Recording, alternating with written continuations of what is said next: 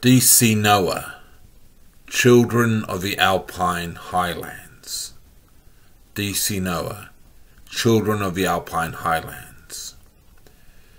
It was in the high country where the powers resided, in the lofty citadels, in the lofty bastions of pride, in the high country, in the Alpine region where the power resided in the covenanted rainbow universe.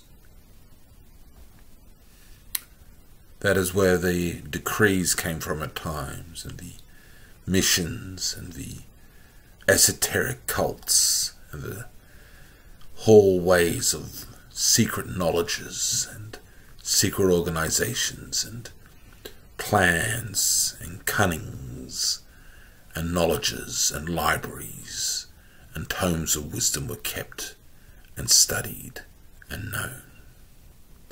The power is in the Alpine, the Alpine region. And watching over the Alpine world, which was linked via a central portal, which was here and there throughout the planet, to the other half of the Alpine world, a marvelous existence.